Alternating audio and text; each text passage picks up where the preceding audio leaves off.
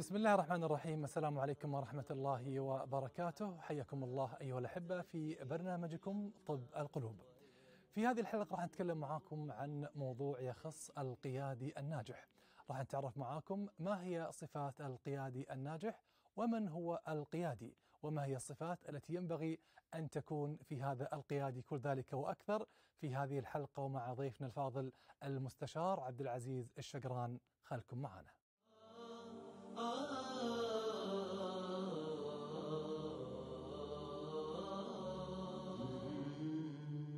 القلوب فرحتها وفرحتها تأتي لما ويبدو رجعنا معاكم من جديد احبتنا وبرنامجكم طب القلوب وهذه الحلقة اللي تتكلم إن شاء الله عن صفات القيادي الناجح وطبعا ارحب في هذه الحلقة بضيفي الفاضل المستشار الأستاذ عبد العزيز الشقران حياك الله الأستاذ مساك الله بالخير والساعة المباركة وأشكرك على تلبيه دعوتنا.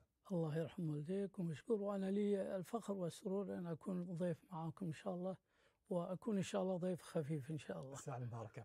آه، طبعا أستاذ عبد العزيز الحديث إن شاء الله في حلقة اليوم عن آه، موضوع طبعا الكل يتمنى أن يكون بهذه الصفات أن يكون شخص قيادي مؤثر وناجح وفي هذه الصفات. خلينا نبدأ اولا بتعريف من الشخص الذي يعني ممكن أن نطلق عليه صفة القيادي الناجح؟ ما هي صفات آه، هذا الشخص الذي فيه هذه المسميات؟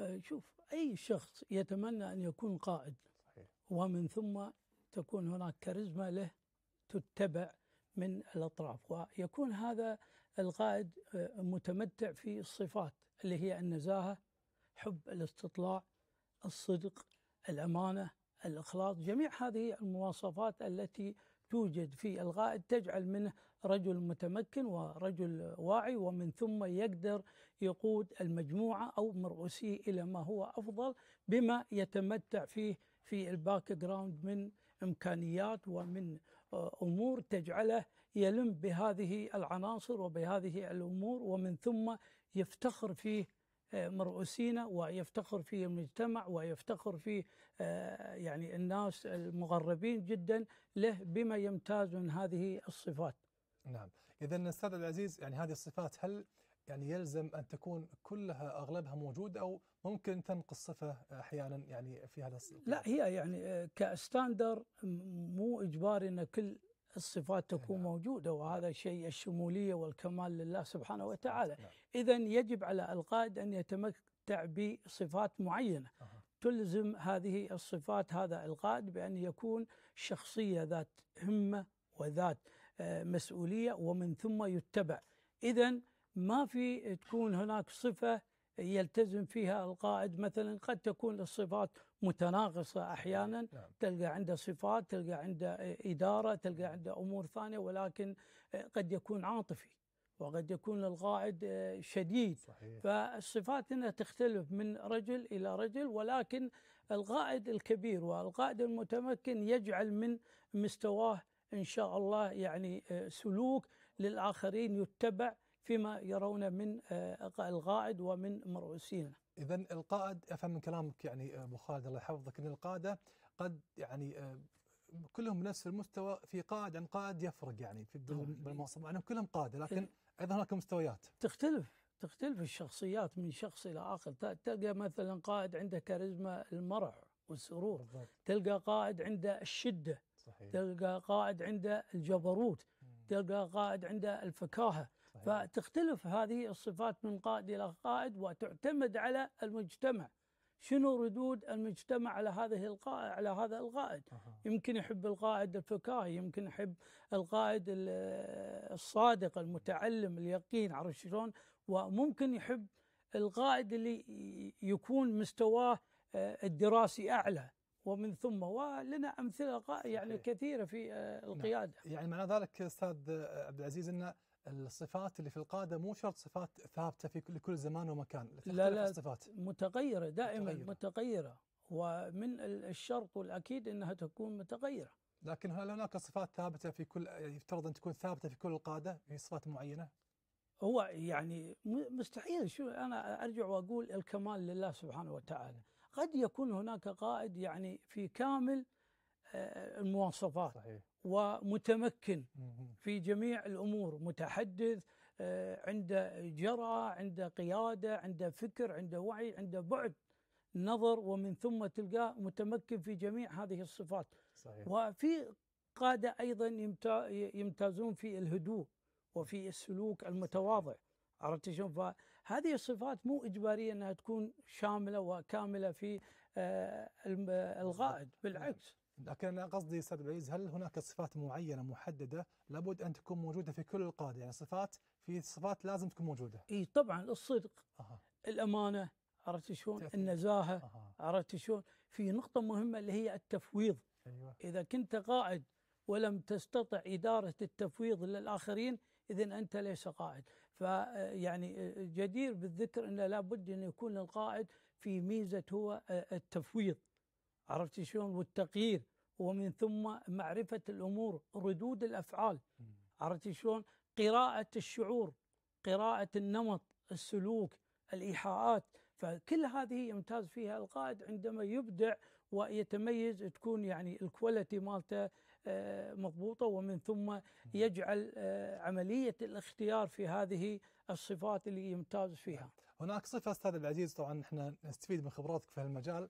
عندنا فكرة أن القائد يكون رأيه ما يتغير يعني أعطى كلمة خلاص يمشي عليها فهل هذا فعلا صفة بالقائد لا مشكلة إنه يأخذ ويعطي ويغير الأمر شوف؟ نعم. هو هو في آه، القادة يسمونه اتخاذ القرار. بالضبط فصعب يعني لما يكون قائد وعنده اتخاذ القرار لازم يكون عنده ثقة بنفسه آه. إنه يمتاز بهذه الصفة صحيح عرفت شلون؟ وأيضا في قائد لازم يكون مرن يعني ما يكون شديد مع مرؤوسينه طيب يسمع منهم. إيه. صحيح فالقائد يختار ما بين هذه الصفات نعم. في عملية تحديد الوقت ومن عملية الحدث اللي أمامه هل الحدث هذا يستوجب مني أن أكون شديد هل الحدث هذا يستوجب مني أن أكون مرن صحيح. فالقائد هنا يحددها يحدد صفاته في آه، المواقف اللي تجتاز ما بينه وبين مرؤوسينه جميل. أيضا آه، يعني أشرت إلى نقطة مهمة أيضا ابو خالد الله يحفظك ان آه، القائد الناجح والذكي من يعني يعرف صفات ال- المرؤوسين اللي تحته حتى يعني يواكب هذه الثقافة إيه. وثقافة هذا طبعا نعم. طبعا هذا يسمونه الذكاء الاجتماعي صحيح. أو العاطفي. إذا لم يتمكن القائد من آه، اتباع طرق الذكاء الاجتماعي شلون يقرأ الأفكار مرؤوسينه شلون يشوف العواطف؟ شلون الأحاسيس المشاعر الأحداث اللي قاعد تصير بين مرؤوسينه إن لم يتمكن من إيجاد آه، الذكاء الاجتماعي أو العاطفي هنا نقول بأن القائد تنقص بعض الصفات. جميل. طيب بالتالي يعني أستاذ عبد العزيز شكرا هل يعني هذه الصفات صفات القيادي اللي تفضلت فيها الذكاء والقدرة على اتخاذ القرار وخلينا نقول قياس الرأي وكل ذلك هل هي يعني تكتسب آه، القيادي من الصغر بتربيته وتعليمه أم هذا أمر فطري في هذا القائد أستاذ عبد العزيز؟ شوف هناك يعني ال- الكل يعني فئات المجتمع وما في واحد تكلم عن القيادة إلا يسألك السؤال هذا. فعلا السؤال هذا مهم. وهو؟ هل القيادة يعني فطرة أو دراسة أو يعني آه، تعليم؟ نعم. آه، القيادة شوف إحنا نقول مستحيل ومن سابع المستحيلات أن يكون القائد عن طريق الفطرة. آه. قد يكون القائد فيه مميزات وهذه من الله سبحانه وتعالى. يولد قائد ذو ذكاء يولد قائد فطن يولد قائد شجاع يولد فعلا. نعم. ولكن هذه الفطرة يجب علينا أن نصقل مهاراتها في التعليم. والتطوير نعم. واكتساب الخبرات. فجميع قادة العالم لم يأتي من الولادة ومن ثم يجعل قائد إلى ما لا نهاية لا يأخذونه يدرسونه في جامعات عليا يدرسونه في أماكن متخصصة ي- ي- يلقنونه يعني مفاهيم قيم الاجتماعية صغرى. عرفت شلون جميع الأمور حتى الأفلام وما أفلام و- بالضبط. ويودونه إلى مستويات يمكن صحيح. كبيرة بروتوكولات معينة اي. طبعا اختلاف دراسات آه، صحيح. تمارين خطابه كل هذه الأمور تصقل مهارة القائد ومن ثم نؤسس القائد من الصغر فأنت عندك هني ملحوظة دائما في المدارس تجد الطالب المشاغب والطالب ال- ال- الغير مثلا عرفت بدون- الغير يعني مرتبط في العلوم الدراسية تلقى هو دائما القائد في الفصل. وتلقى الطالب الذكي صحيح. الهادئ متفوق. هو صحيح. والمتفوق. اذا هو آه، أقل منه درجة. فهني شو يصير؟ عملية توازن.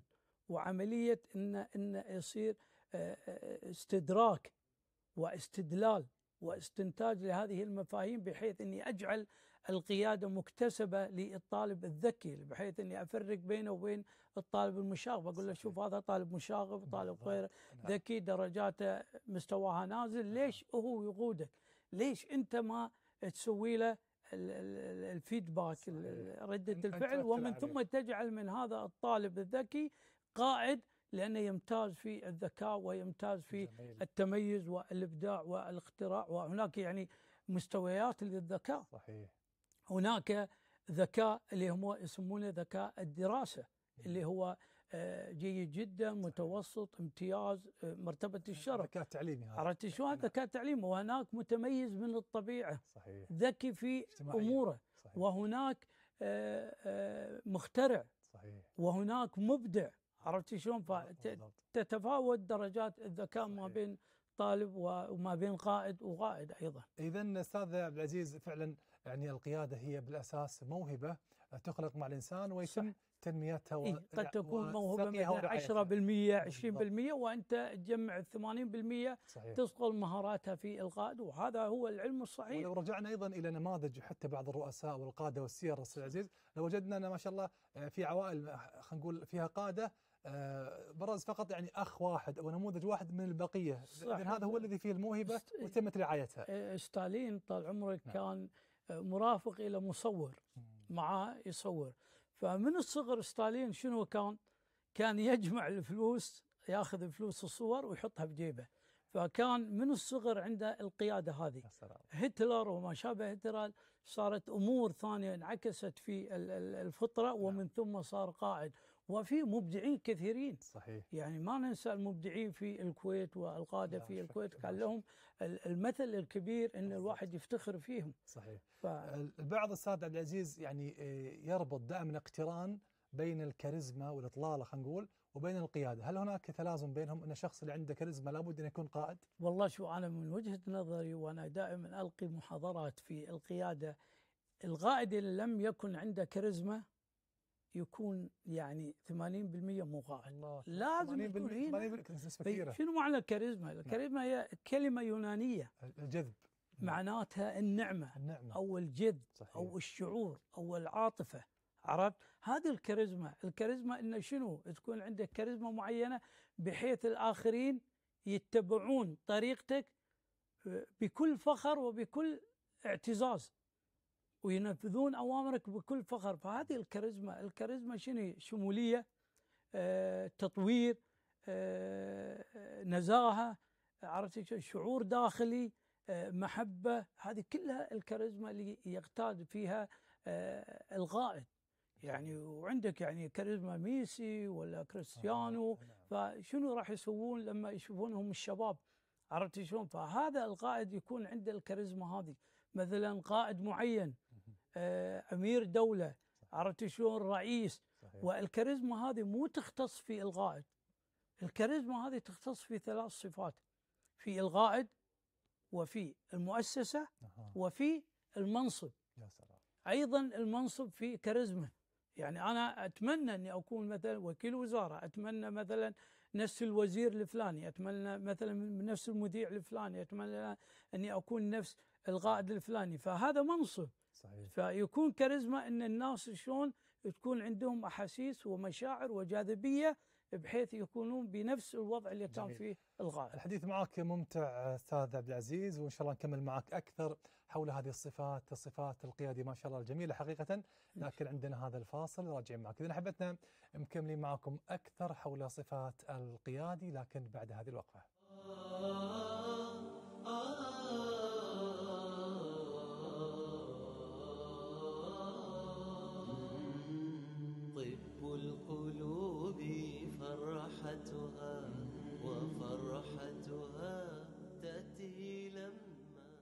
رجعنا معكم من جديد أحبتنا وهذه الحلقة اللي تتكلم عن صفات القيادي الناجح وأعود أرحب من جديد بضيفي الفاضل المستشار الأستاذ عبد العزيز الشقران.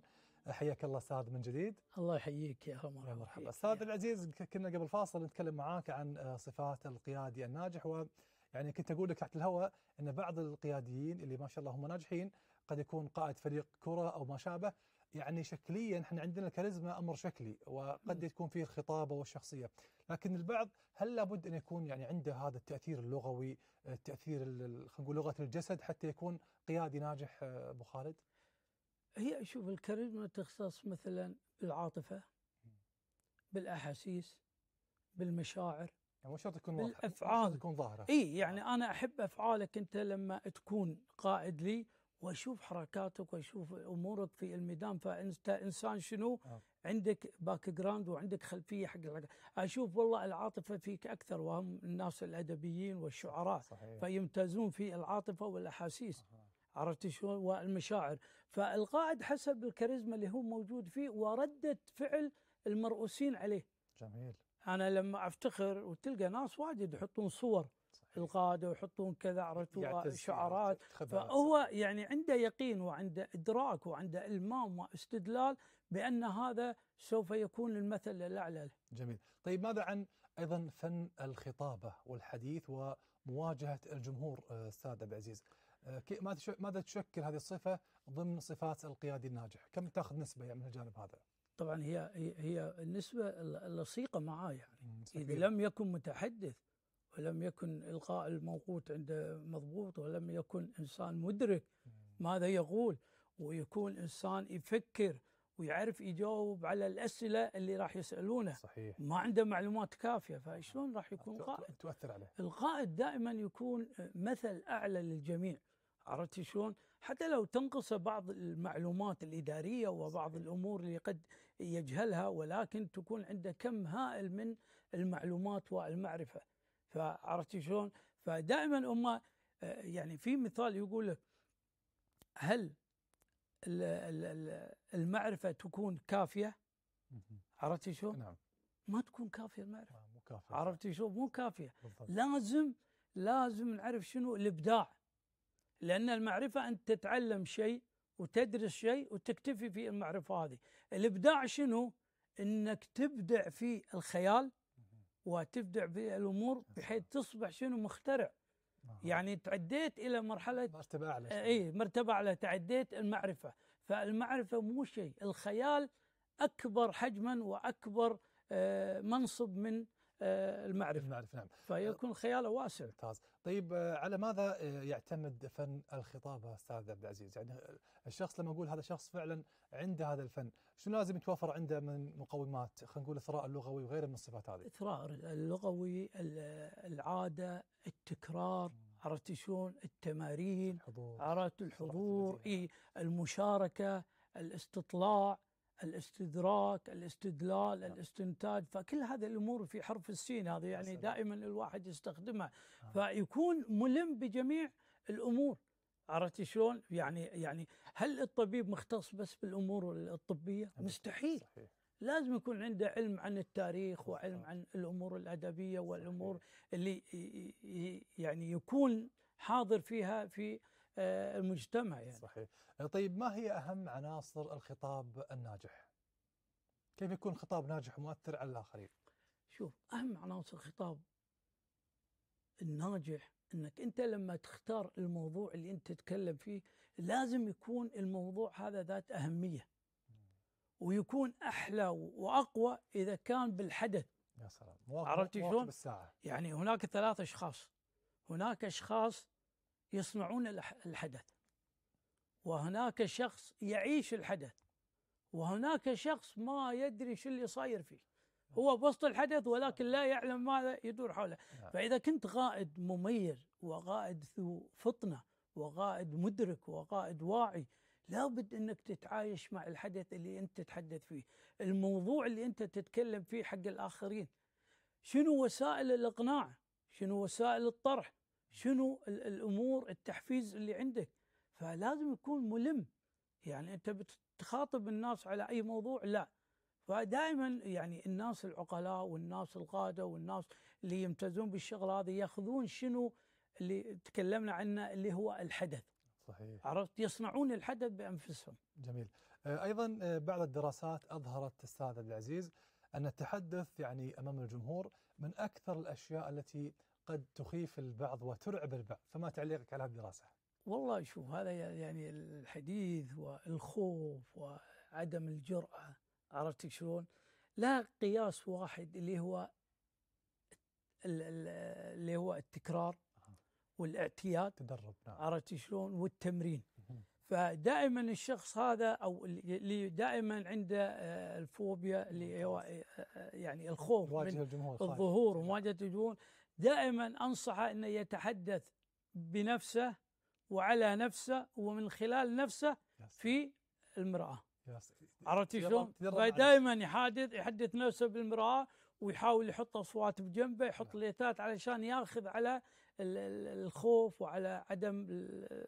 الجرأة والرهبة. الرهبة في الجمهور نعم. والجمهور فعلا له رهبة له رهبة نعم نعم. رهبة إنك تخاف منه وله رغبة بأن شنو يستدل منك أنت كقائد. يعني رغبة ورهبة. ممتاز. نفس الشيء. فتلقى يعني المتفائل تلقى من الصعوبة لما تحوش يعني أمور صعبة يخلق منها فرصة. صحيح. المتشائم لا. لما تجي أمور صعبة يطيح. ما صحيح. يخلق فرصة صحيح. للنجاح. وهذا يعني يعني اصطلاح أمر صحيح. طيب الناس اللي أيضا يعني واجهتهم أستاذ عبد العزيز وأيضا أكيد يعني أنت قدمت دورات ما شاء الله في هالميدان. ماذا عن يعني الناس آه، خلينا نقول قبل وبعد شو اللي فرق معاهم وشلون طوروا من أنفسهم في هالجانب أستاذ عبد العزيز؟ طبعا هو ال- ال- الآن يعني الناس قبل يكون الإلغاء الموقوت ويكون الخطاب مسجل مثلا. نعم. وبعدين يكون الخطاب يعني أمام الجمهور عرفت. والآن تطور الخطاب.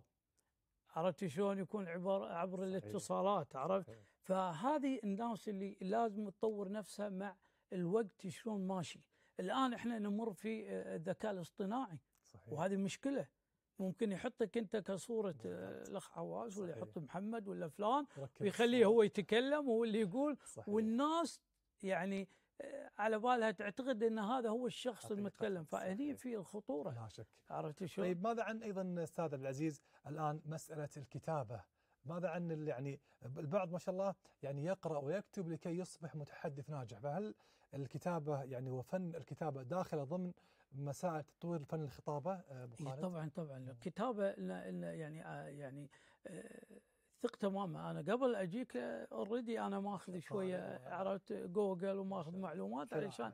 أشوف يكون ملم ببعض الأشياء. فالإنسان اللي ما يسوي search ولا يسوي بحث ولا يسوي استطلاع ولا يسوي جمع أفكار على الأقل عرفت شلون بحيث يكون جاهز عند الخطابة وجاهز عند المقابلة وجاهز عند آه، الديوانية لما تقعد أنت في. الديوانية. إن لم يكن عندك يعني background ومعلومات عن موضوع تتحدث فيه ماكو داعي أنت تعرض أفكارك صحيح لا لأن ال- الفكرة ال- ال- الفكرة للعرض وليس للفرض نعم، يعني ما. تفرض. فكرتك أنت وأيضا الجميل أستاذ عبد العزيز الإنسان يكون رايه علمي وليس فقط رأي غير مدلل وغير يعني آه، له شواهد علمية، بعض يقول لك رأي وقد الناس تبني عليه وهو رأي غير علمي بتاتا عليه. إي هني نرجع إلى قاعدة ال- الاستدلال بالأرقام. عرفت شلون؟ وإلى قاعدة التدليل وليس التضليل فأنت لما تتكلم يعني لازم تتكلم في لغة الأرقام صحيح وليس لغة الأوهام علشان الناس تصدقك لما. تقول أنا والله عندي سيرش وعندي أمور صار كذا وعندي ناس مؤيدين كذا إذا أنت عندك عدد صحيح أعطيتني العدد أنا اقتنعت في ردة الفعو... آه، الأفعال صحيح. اللي حق الناس أو حق المجتمع بالضبط. وأيضا عندك التدليل شنو التدليل إنك تقدم مستندات تقدم أوراق صحيح تقدم براهين تقدم دلائل اثباتات صحيح فهذه نعم. لغة ال- الأرقام ولغة العلمية. التدليل طيب نتكلم بهاللغة أستاذ عبد العزيز هل علميا ولغة التدليل هل يعني آه، ممكن تحويل شخص غير قيادي إلى شخص قيادي؟ خلينا نتكلم بشكل علمي ما نبي يعني آه، آراء أو توقعات. لا لا هي ما, ما لها شغل إنها تحول لغة التدليل بالعكس هي مستند رئيسي عندك. إنك شنو تقوي رايك تقوي عرضك تقوي تقوي الفكرة اللي انت عرضتها حق الناس. هذا التدليل. ممتاز. مو إلا إنك انت تكون صحيح. أنا لما أعرض عليك فكرة وأقول لك والله مثلا آه، فريقي راح يفوز اليوم. عرفت؟ صحيح. فأنت تقول لي شنو؟ مو مو عطني فأنا أنا أعطيك شنو؟ أعطيك المعطيات. عندي صحيح. لاعبين جيدين. أعطيك عندي ساحه مدرب عرفت قوي، شلون. عندي الخبرة عندي صحيح. الهمه عندي الله ري- رياضي. إي رياضة. زين عشان الشباب شلون؟ فأعطيك التدليل اللي عندي والبراهين والأدلة عرفت ممتاز. شلون؟ يبقى عاد التوفيق. بالضبط. التوفيق من الله. طيب هل يمكن أن شخص غير قيادي ما فيه الموهبة هذه ممكن احوله إلى شخص قيادي؟ آه، أستاذ عبد العزيز ممكن؟ طبعا أي. شخص أي أي شخص. بس ما عنده الموهبه هذه أساسا يعني ما عنده موهبة القيادة. يعني إنسان رافض انه يكون قائد؟ هو مش رافض. أنا أقصد شخص مو مبين عليه إنه قيادي ما عنده الموهبه هذه من ولادته إيه. ما في خلينا نقول ملامح القيادة. هل ممكن أشتغل وأتعب عليه؟ بالتالي يصبح شخص قيادي ممكن مستقبلا إذا دربته وصار عندك صقل مهاراته وتدريب عرفت؟ ممكن تخليه قيادي.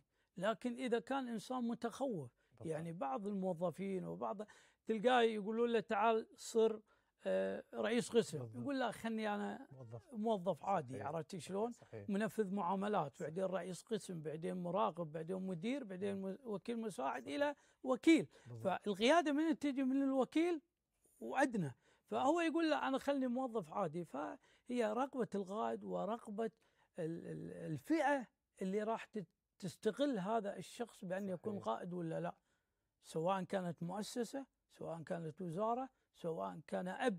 بالضبط. أب ممكن يخلي ولده الفلاني يشوف في بعض الصفات المميزة ويخليه قائد طيب؟ هذه هذه خلينا نقول التنشئه على القيادة آه، تنشا أستاذ من. الصغر إيه. هل يعني من الصغر لازم تكون أم قد تكون متاخر عادي ممكن يصير شخص قيادي والله ممكن إذا كانت من الصغر فهذا يعني أمور طيبة أفضل. لانك قاعد تبني البذرة من أول صحيح. زرعتها. عرفت شلون؟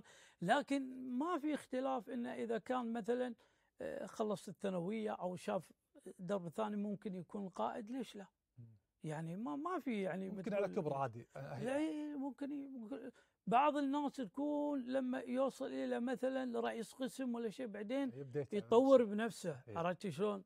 improve yourself to the best يعني يحاول انه شنو يجعل من نفسه مميز صحيح فهمت؟ فياخذ دورات في التطوير، ياخذ دورات في الذكاء الاصطناعي، ياخذ دورات في خطابة، صحيح. الخطابه إلى ما شابه ذلك، بالضبط ومن ثم يصبح قائد ومتحدث وبالعكس مؤثر. يدرب ناس ثانيين. يعني إيه. طيب هل آه، الشخص خلينا نقول المهني أو الشخص اللي يعني آه، صاحب منصب في المؤسسة أو الوزاره. هل عدم آه، آه، وجود مو- صفات معينة في القياده هل تؤثر على تاريخ المهني أو تقدم لا لا أستاذ عبد العزيز؟ شو- شو- ابدا. القائد صفة يمتاز فيها الشخص بكل مكان. مو إجباري أو إجباري إنك تكون وكيل وزارة عشان تكون قائد لا. سلام. القائد مهني. القائد موظف عادي. القائد رئيس قسم. القائد طفل عندك في البيت مم. القائد أنت بنفسك قائد في الديوانية بحيث إنك تفرض رأيك وفكرك على الآخرين. صحيح. أنت قائد في التوجيه بالضبط. قائد في اتباع قواعد المرور. نعم. فتعتبر أنت قائد عرفت شلون؟ لا. مو إلا أنا أعطيه منصب والله يقول هذا خلاص موظف عادي ما يحتاج لا بالعكس ممكن الموظفين اللي عنده يحبونه أكثر من وكيل الوزارة أو يحب فتلقى الناس يعني فيهم شعبية صدقت. محبوبية حق الناس الثانيين. آه، لكن أستاذ عبد العزيز هل عدم توفر هذه الصفات صفات القيادة تؤثر حتى على آه، يعني آه، تقدم المهني حق الموظف؟ يعني ما تخليه يوصل مناصب عالية لأنه ما عنده الصفات هذه ممكن؟ لا لا بالعكس, ما بالعكس. إذا كان جيد وكان إنسان يحب إنه يطور نفسه يحب من العمل اما إذا كان يعني خمول وإنسان كسول طبيعي ما. فما طبيعي أنت ما راح تحرك صحيح عرفت طيب. شلون؟ ذكرت قبل شوي الذكاء الاصطناعي الحين الذكاء الاصطناعي شلون قاعد يأثر آه، خلينا نقول في الواقع المهني والتدريبي أستاذ عبد العزيز إي طبعا ممكن يستغل الذكاء الاصطناعي